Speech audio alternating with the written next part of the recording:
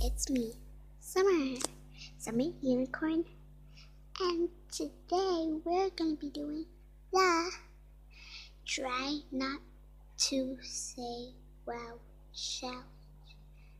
So I'm gonna read some of the comments. Okay. okay. Let me tell you the joke and she did. Why did the chicken cross the road? And I said on my post, I don't know. She was like, oh, to get the back back chicken. It was so funny. I was like, oh my gosh. Okay, now next is the Kylie Jenner joke. What's that?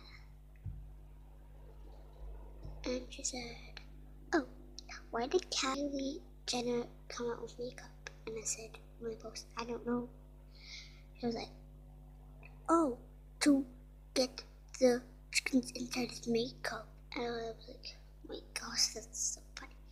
So, that's all for today. Bye. Bye.